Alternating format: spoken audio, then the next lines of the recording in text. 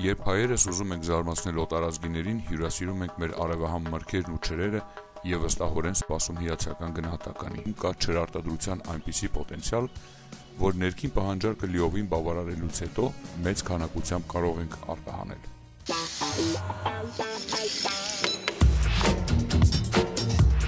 2011 թվականը շրջադարձային կարելի է համարել Հայաստանի չրարտադրության ոլորտի համար։ ՄԱԿ-ի զարգացման ծրագրի ու փոքր միջին ձեռնարկատիրության զարգացման ազգային կենտրոնի ջանքերով սկսվեց ժամանակակից արևային չորանոցների կառուցումը եւ էլեկտրական չորանոցների ներկրումը։ Ավանդական եղանակով միրգ չորացնող անհատական տնտեսություններից շատերը վերածվեցին չիրարտադրողների։ Նրանցից մեկը Տավուշի մարզի Այրում քաղաքի բնակիչ Մերուժան Փաշիկյանն է։ Սեփական այգուց ստացած միրգը նա սովորաբար այսպես է չորացնում. բաց երկնքի տակ բնության կմահաճույքից կախված, ինչպես արել են մեր նախնիները։ Սակայն ժամանակակից արևային եւ էլեկտրական չորանոցների ներդրումից հետո շատ բան փոխվեց այս տնտեսությունում։ Այս տիպային չորանոցում կարելի է միանգամից 2 տոննա միրգ տեղադրել եւ կախված հունքի տեսակից մի քանի օրում ստանալ 200-ից 400 կիլոգրամ չիր։ Տվյալ պահին Մերուժանը հոն էր չորացնում։ Ընդամենը 3 օրում նա յուրաքանչյուր 100 կիլոգրամ հոնից կստանա 25 կիլոգրամ բարձրորակ չիր։ ՄԱԳ-ի զարգացման ծրագրի օժանդակությամբ ցերկ է բերվել նաև արհեստական չորանոցներ, որը օգնության է գալիս արևային չորանոցներին այն ժամանակ, եւ որ եղանակային պայմանները վատ են։ Եղանակային վատ պայմանների ժամանակ ջոկում են չչորացած հումքը եւ այն տեղափոխվում արհեստական չորանոցներ։ Օրինակ սրանք, որը որ չի չորացել, տեղափոխել ենք այստեղ եւ չորացնում ենք արհեստական չորանոցների մեջ։ Ճիշտ է, սա ծախսը մի քիչ ավել է, քան թե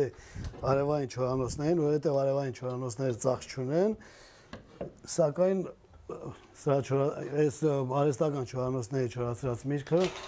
ավելի մաքուր եւ ավելի օգտակար է, որովհետև արևի ճառագայթները նույնպես նրա վրա չեն ազդում։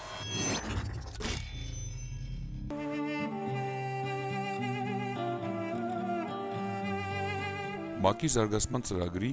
եւ Հայաստանի փոքր ու միջին ձեռնարկատիրության զարգացման ազգային կենտրոնի աջակցությամբ 2011 թվականից մինչև օրս Հայաստանի տարբեր մարզերում կառուցվել են 15 արևային չորանոց եւ ճիր արտադրողներին է տրամադրվել 25 էլեկտրական չորանոց։ Այսուհանդերձ առանձին մանր ու միջին ճիր արտադրողները, որոնց թիվը Հայաստանում անցնում է 5500-ից, դեռևս ի վիճակի չեն միջազգային շուկա դուրս գալ, ապահովելով կայուն որակ եւ մատակարարման մեծ ծավալներ։ Դա հնարավոր կդառնա միայն այն դեպքում, երբ տեղական արտադրողները համախմբվեն մեկ միասնական կառույցի տակ։ Այդ նպատակով մարզերից երկուսում՝ Տավուշում եւ Արարատում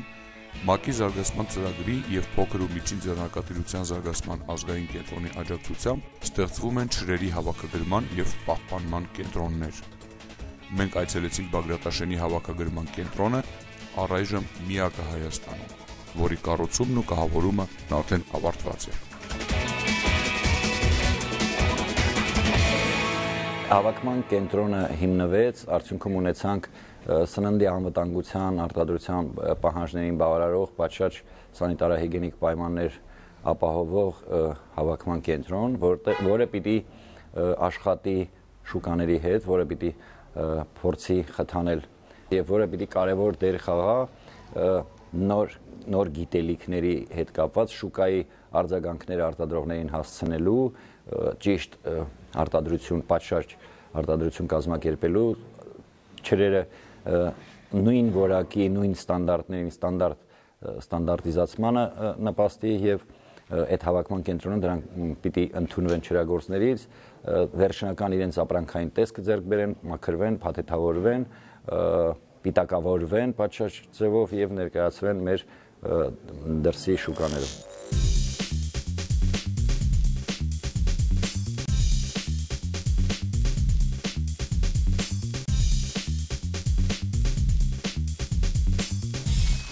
Ճրերի արտադրությունն այսօր կարելի է համարել հայկական գյուղատնտեսության առավել հերանեկարային ոլորտներից մեկը։ Այն տարածվել է գրեթե բոլոր մարզերում։ Ներկայումս մեր երկրում տարեկան 1000 տոննայից ավել ճիր է արտադրում, որը թեպետ չի բավարարում ներքին պահանջը, բայց ժամանակակից արևային եւ էլեկտրական չորանոցների ներդրման պարագայում Հայաստանը մեծ պոտենցիալ ունի աշխարհին մատակարարելու բացառիկ որակի էկոլոգիապես մաքուր չոր միրգ ու բանջարեղեն։